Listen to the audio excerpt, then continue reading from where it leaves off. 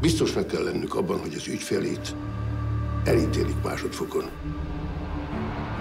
Az a felvétel nem kerülhet nyilvánosságra. Akkor az el van döntve? Ez már rég el van döntve. Kapsz egy üzleti jellegű ajánlatot, erre te megzsarolod az ország egyik legbefolyásosabb vállalkozóját. Lehet, hogy nincs hozzászokva ez a stílushoz. Csin, csin.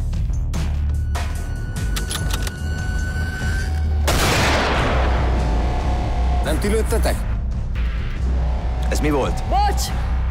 Talács hülye? István, hallasz? Kérem a rádiót. Itt van ez a büdös paraszt valami hullával a platóján, te még engem vádolsz? Megtaláltuk őket. Kiket? Halottakat!